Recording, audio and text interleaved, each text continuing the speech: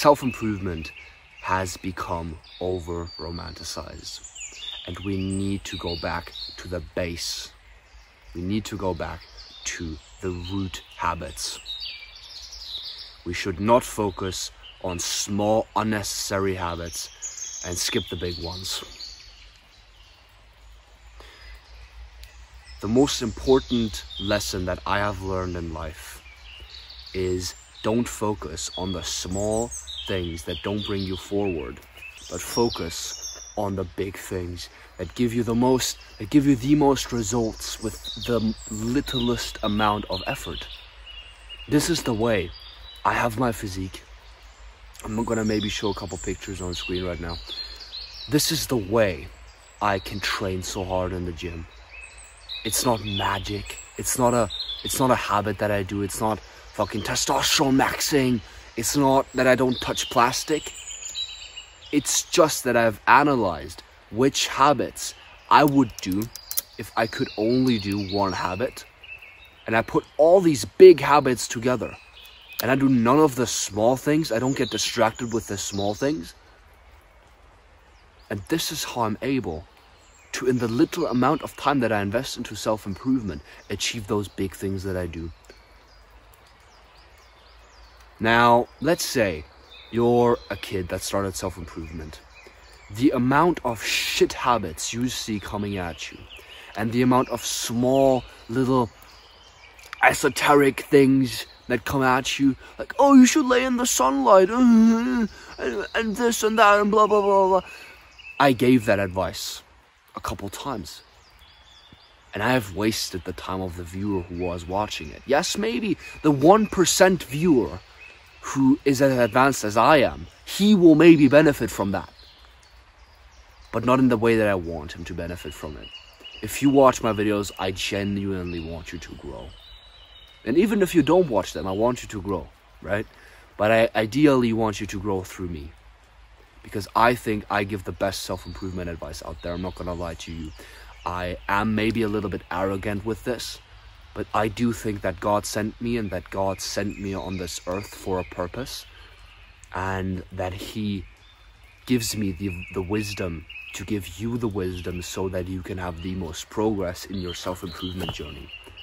This is why I think I give the best self improvement advice because I don't give you this advice of brush your teeth in this way, wipe your ass with, with full cotton paper, and go and sit in the sun for exactly one hour and 30 seconds and uh, the advice I give you on this channel is the basics.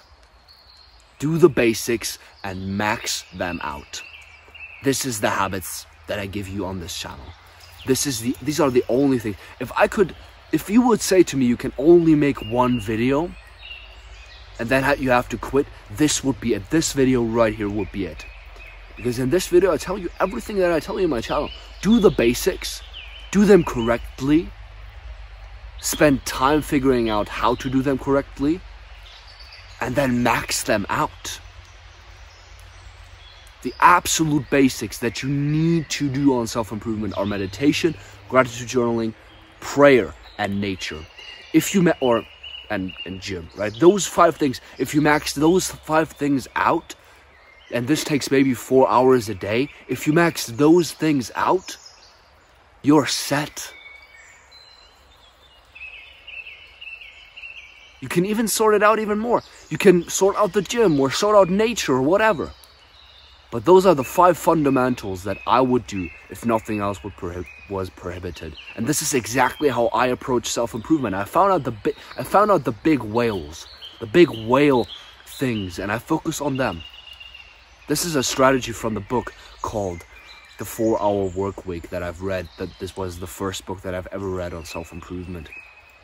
And in it, the guy Tim Ferriss who wrote the book taught me the 80 to 20 principle. And in that principle, he talks about 80% of the results are achieved with 20% of the effort. And it's exactly what I found in my life. The four hours I invest into self improvement every single day make up 80% of my results. And this 80 to 20 principle is exactly what has driven my self improvement success to the level where I have an iron mindset. And it sounds fancy, it sounds cool, the guy saying I have an iron mindset, and everyone says that these days. But I genuinely have an iron mindset. If something bad happens to me, I grow through it. If something good happens to me, I grow through it. You cannot defeat me. I mean this, by the way. I, I'm not just shit talking, I mean this. And this is exactly the way. I found the small habit, the big dog. Right? The one habit that drives the most productivity, that gives me the most bang for my buck. That habit, I found the basic habits, and that habit I max out.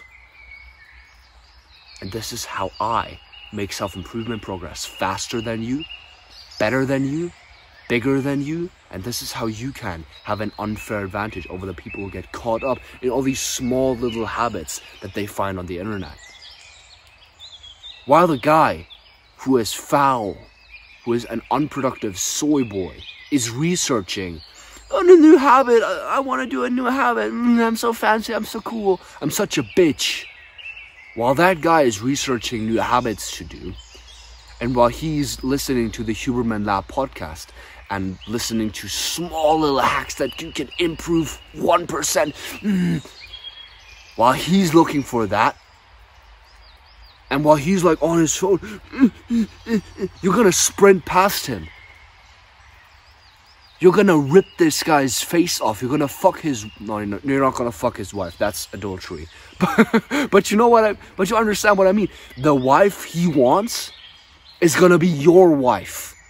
Because you're gonna be at the finish line first, and women want winners. Women want the man at the finish line, not the man in the process. And they will certainly not decide for some little bitch boy who's looking for new habits and who's looking for, if I eat chocolate once a day, I might get 1% more testosterone. He, they're not looking for that guy. they're looking for the guy who's the biggest and baddest man who they can find. They look for the rich guy who's smart, strong, tall, who goes to the gym, who can fight. They look for that man who's present, who is absolutely pounding them. Not for the little soy boy who is sitting on the floor crying about the 3% testosterone he lost because he touched plastic once. We all need to clear our brains of these bitch habits. It's, this is how I like to call them. Oh, that's just a bitch habit. Don't do it. We need to. I'm losing my mind right now, but we need to fucking get rid of all these fucking habits and just get lost in the big task. Get addicted to maxing out the gym. It's all nuances. Fuck these little habits, max out the big ones, and fuck the future wife of the guy who's reading up on fucking how to do NoFap better. Should I edge or should I not edge? Mm. That guy's looking for excuses. Work for the wife he wants because you both want that wife. You both want that money. A lot of people want what you want.